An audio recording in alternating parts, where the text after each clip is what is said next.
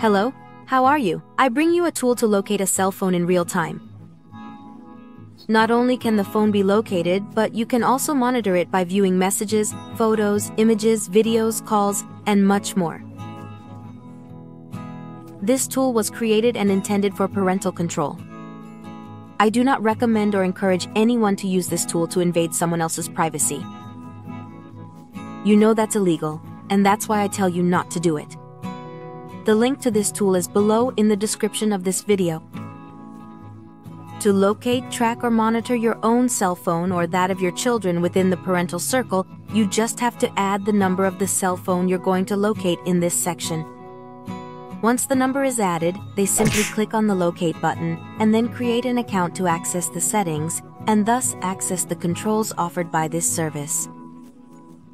I'm going to log into my account to show you how this service works and how to see a real-time location.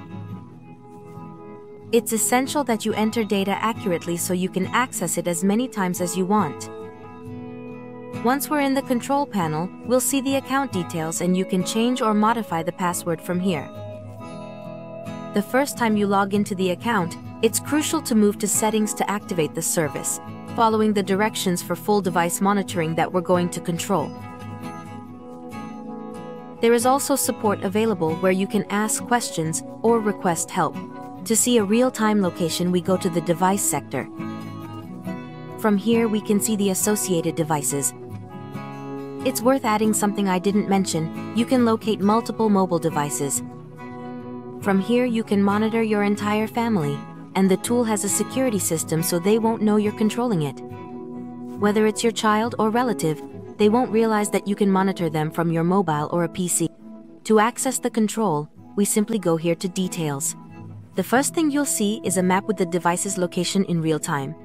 And below, you will have the option to see a history of places where it went, sorted by time or date.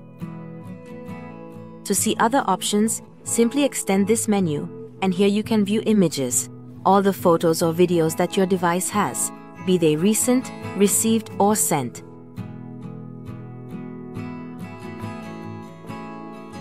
In notifications, you can see messages from social networks such as Facebook, WhatsApp, or other apps installed. What's more, you can view all the messages, the messages sent and received from your service provider. In Contacts, you'll see all the numbers saved by address book name, that is, the contact's name and their respective number.